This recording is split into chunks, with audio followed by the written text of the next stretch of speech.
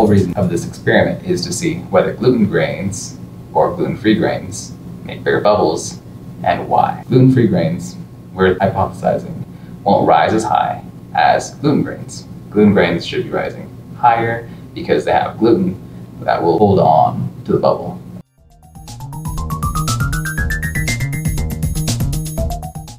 Gluten grains have risen much higher and are much longer than the gluten-free grains. The gluten-free grains are rising, but they are rising at slower rates and then they start cratering and stabilizing much faster.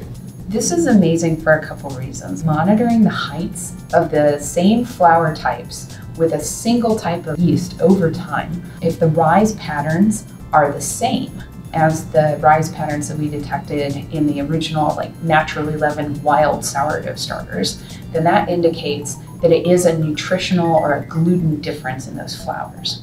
Everyone is making carbon dioxide, and those four gluten free flours don't have a network to capture the carbon dioxide in a balloon.